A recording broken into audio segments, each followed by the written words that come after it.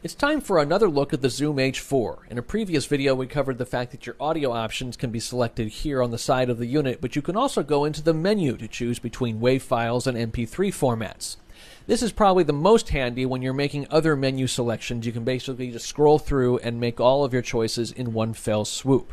Now, in a previous video, we covered the fact that your audio gain for your inputs here at the bottom can be selected on the side of the unit. Inputs 1, 2, and the mic input all have high, medium, and low gains, but you can also adjust the gain in the mixer section of the Zoom H4.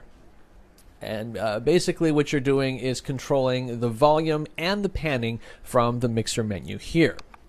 Another option you have in four track mode is stereo linking. You can make a stereo channel out of channels 1 and 2, or make a stereo pair out of channels 3 and 4. There's also a metronome, and before you're ready to record, you can check the SD card to see how much time is remaining on the card.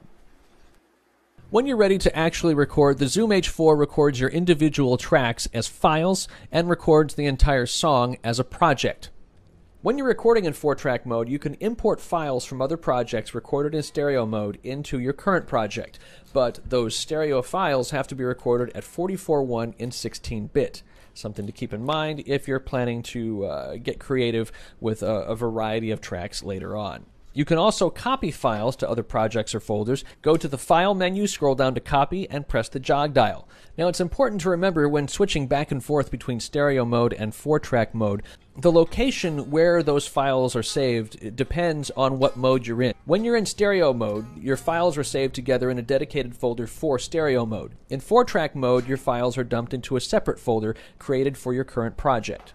And that does it for our basic look at the menu functions of the Zoom H4. By no means a comprehensive overview of all of the things you can do in the menu section, but a few of the basic things you'll need right off the bat. Stay tuned for more videos featuring the deep features of the Zoom H4 at GearWire.com.